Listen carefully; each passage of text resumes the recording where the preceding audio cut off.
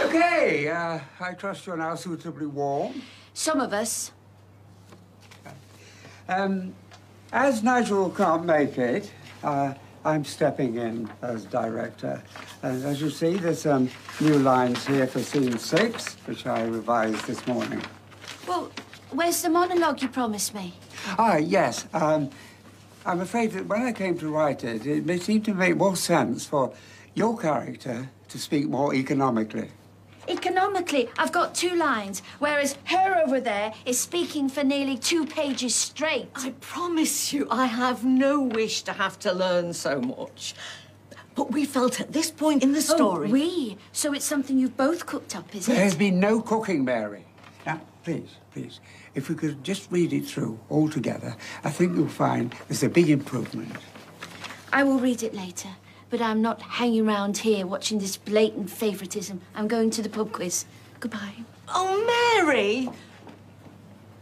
Oh, I didn't want to upset her. I know, I know. And, um, Mary can be a bit temperamental. Now, uh, shall we push on? Uh, As we've all noted, there's a lot to get through.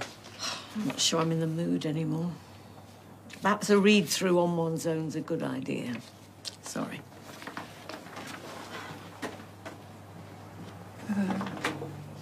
What just happened?